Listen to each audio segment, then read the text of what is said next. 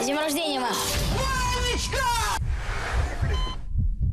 Нужно сдать анализы на совместимость тканей. В случае чего будем знать, кто из вас сможет стать донором. Вот повторные результаты анализов.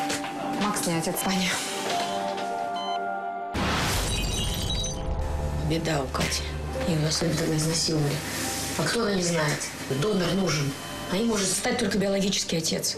Нельзя же сидеть и ничего не делать. Я же так с ума сойду! Премьера телесериала «Верь мне»